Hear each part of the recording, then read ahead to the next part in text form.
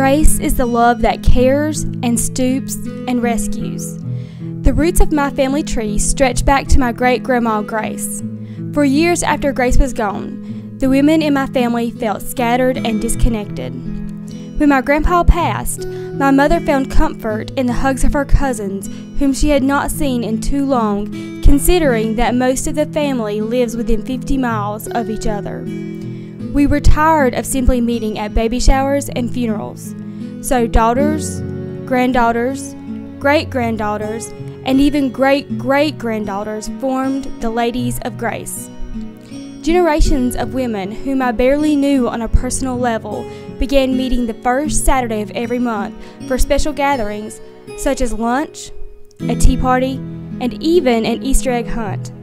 At a sleepover in a Hickory hotel, I watched in amazement as my great Aunt Betty cut loose and danced. We did the electric slide, played games, and most importantly, we laughed.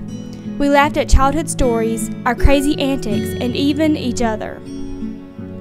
I took the time to laugh with my Memo and her two remaining sisters in law as we all cherished the time we had together. On the last trip I would ever take with my great Aunt Lil, I finally saw the family resemblance she shared with my grandpa and his Cherokee ancestors. I listened to my great Aunt Betty tell about having a double date with a boy she had beaten up as a child. I heard deeper meaning in my own Mama's story about her work as a babysitter and a blind date with her employer's brother, who had returned home from the army. Her blind date became our grandpa.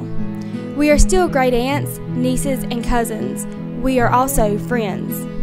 While some of our members are now with the Lord, I can say that I not only love them, but that I also honestly knew them. I knew how they met their husbands, the problems they faced raising their children, and the sincerity of their love for me. The Ladies of Grace are not only family members who only see each other when obligated. We are shopping buddies, Facebook friends, and graceful partners in crime. That is the mystery of grace. It never comes too late.